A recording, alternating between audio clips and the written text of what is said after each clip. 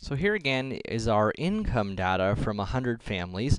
We have income and frequencies here, so we're working off of a frequency table. So we have here 100 pieces of data. So that's even, so we know that uh, the median will be in between the, in this case, 50th and 51st uh, piece of data. Sorry, piece of data. Okay, so between the 50th and 51st piece of data. So now we need to figure out where that is. Um, so our first six pieces of data are here. So we've counted up six pieces of data so far. And then we have another eight pieces of data here. So altogether, that would be six, six pieces of data there, eight pieces of data there. We've now counted up to 14. So together, these make 14 pieces of data. So we have 14 pieces, and then we add in 11 more, uh, and now we have a total of 25 pieces of data. So all of these together is 25 pieces of data. And then, let's see if we add in another 17, that's going to get us up to, let's see, 42. And so altogether, this is 42 pieces of data. And then add that to 19, and that gets us up to 61. And so altogether, this is 61 pieces of data.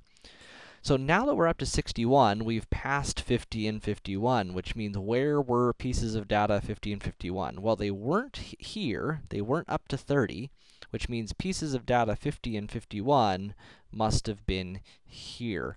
And so both the 50th and 51st pieces of data were 35,000, and the mean of 35,000 and 35,000 is also 35,000. Uh,